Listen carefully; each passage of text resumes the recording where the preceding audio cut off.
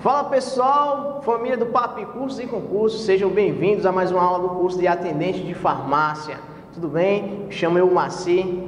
Olha meu nome lá, hein? Esquece não. Vamos dar continuidade ao nosso assunto, pessoal. Olha só, hoje vamos falar de uma palavrinha um pouco não tanto conhecida, certo? O que a gente falou nas aulas anteriores, vocês já estão praticamente aptos, já estão, já estão cerca de 60% a 70% aptos a trabalhar na farmácia, tá bom? A partir de agora a gente vai falar um pouco mais de conteúdos mais didáticos, mais específicos da área, um pouco da área de farmácia, justamente sobre alguns conhecimentos das dinâmicas dos medicamentos, tá bom? Primeiro a gente vai usar aquela palavra, uma palavrinha bacana. Olha aí na tua apostila a palavra. Farmacotécnica. Olha a soma. Fármaco mais técnica. O que é isso, eu Maci? A técnica de manipulação dos fármacos. É, pessoal, justamente isso. Essa é a técnica utilizada justamente por profissionais farmacêuticos ou bioquímicos na manipulação dos medicamentos. O Elmaciel, você vai me falar, para que, que serve essa manipulação dos medicamentos? Serve justamente por quê? Porque as pessoas são diferenciadas e elas têm algumas especificidades para tomar as medicações. Então as medicações elas precisam ser diferenciadas quanto ao uso e quanto ao tipo delas. Tá bom, pessoal? Acompanhando aí a apostila. Quanto ao uso dos medicamentos. Os medicamentos podem ser de uso o quê, pessoal? Vamos lá. Interno e externo. Interno, o nome já diz internamente, parte interna de você ingerir a medicação ou ser injetada em você, tá bom? E na parte externa, parte tópica, na pele, tá certo? Essa é uma questão bem mais tranquila de, de entender, tá bom? Olha, lógico, lembrando lá um pouco da receita, Caso vocês peguem uma medicação, olha só que bacana, vocês pegam uma medicação que na receita está prescrita assim, IM.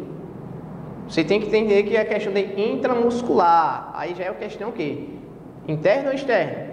Interno. E as vias?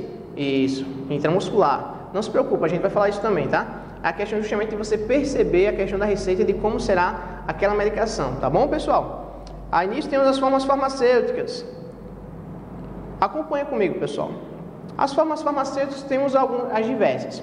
Dentre elas nós temos o que? As formas farmacêuticas líquidas. Dentre elas temos soluções que são dissolvidas em água. Exemplo. Eu gostei da dipirona, tá? Fica tranquilo. Temos a dipirona, aqui está em quê? Sólido. Só que também tem a dipirona em gotas, assim como outras medicações também. Você vai tomar a medicação diretamente na boca, pingando, ah, vou pingar. Bem, se você quiser tomar, você toma, é questão sua. Mas é prescrito que você tome com água, tá bom? Determinada quantidade de água, as gotinhas, tudo ok, tá bom, pessoal? Nós temos também os xaropes, são diluentes em água, ou seja, são soluções que já vêm em água, tá bom, pessoal? Temos os elixis, que são xarope líquido com álcool. Esse elixir, você pode até lembrar um pouco do biotônico Fontoura. Vocês lembram? É, é um pouco antigo, mas ainda tem, viu, pessoal? É um polivitamínico, biotônico funtura, tá certo? Temos também as tinturas, que são solução concentrada em álcool. Ah, não confunda, tintura, ah, tintura de cabelo não, pessoal. Isso é um modo, a forma líquida dos medicamentos. E também temos os enemas, que são a solução de uso retal, que elas vêm justamente em cápsulas, tá? Eu, Maci, eu comecei a trabalhar na farmácia hoje, certo? Assisti a aula do Papo e Curso, via online ou presencial. E eu vi essas questões de soluções, xaropes, elixir, as formas líquidas. Alguém vai chegar para mim e vai perguntar: eu quero uma tintura, eu quero uma solução, eu quero isso?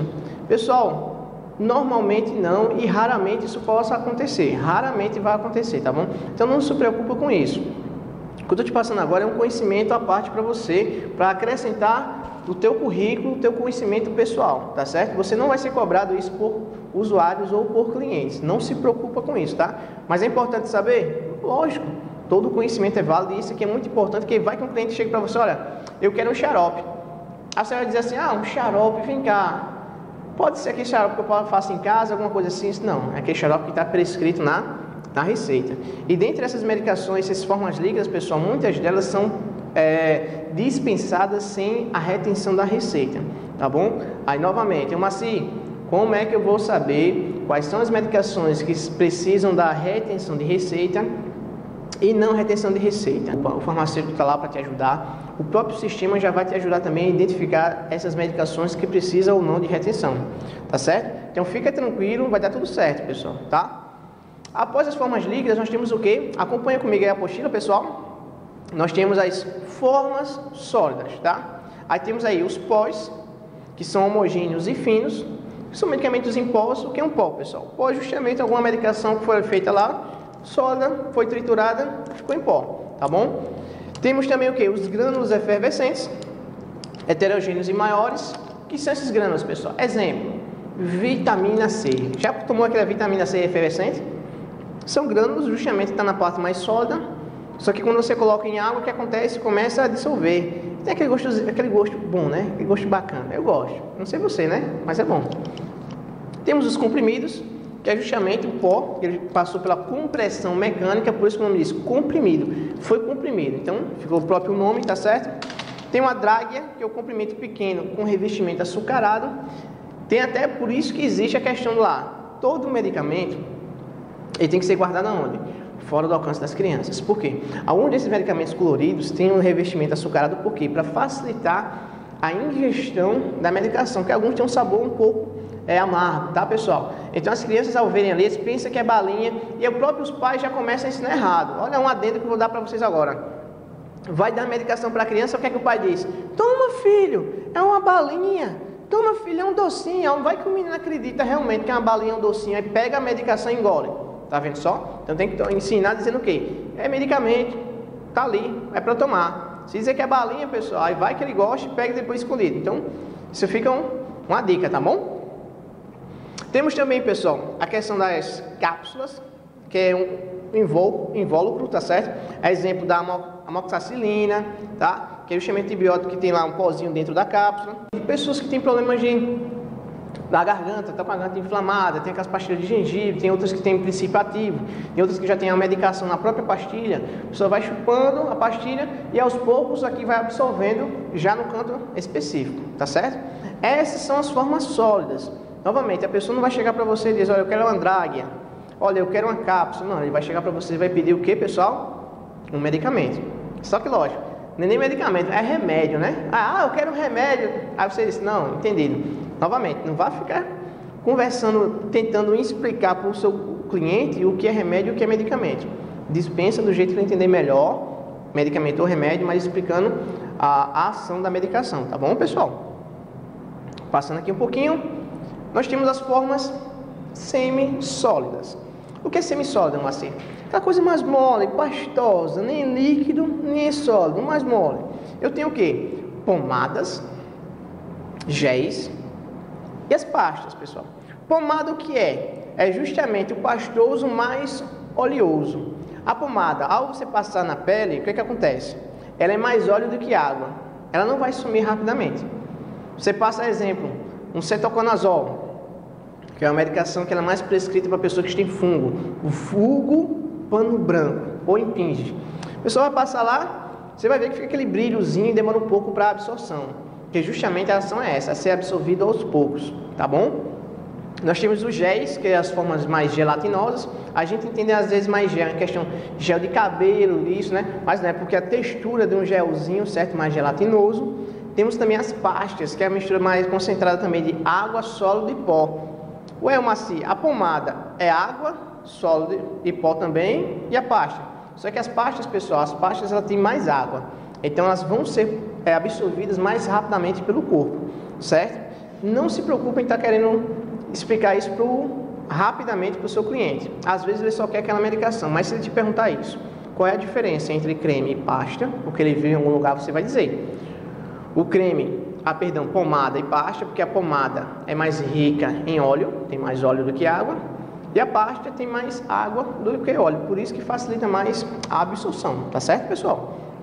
Aí temos os produtos emulsionados, que são os cremes, as loções, os leites. São justamente produtos adquiridos principalmente de fontes naturais, tá? Novamente, temos fontes minerais, vegetais e animais. Essas fontes naturais que eu te falo é mais animal e vegetal, tá certo? Nós temos aqui, pessoal, a questão da suspensão, certo? O que são a suspensão macia? Pessoal, isso é até bacana, engraçado, quando eu, eu soube isso direitinho, eu pensava que suspensão era tomar medicação suspensa em algum lugar, mas não tem nada a ver, pessoal. a suspensão é justamente alguma medicação que vem um pó na medicação já, tá certo? O que, que você faz? Você pega, adiciona um pouco de água nele e faz a mistura. Não cai nessa que eu caí, não. Eu fiquei imaginando coisas, tá, pessoal? Aí você passa vergonha. Mas depois dessa aqui da aula do papo, você não vai passar vergonha mais, não, tá bom? Suspensão é justamente o pó que você vai somar um pouco de água e fazer a mistura, tá certo? Os injetáveis. Esse injetável é bacana. Injetável é uma coisa, certo? Não necessariamente injetável é sempre através de seringas, que a gente fala que seringa é sempre injeção.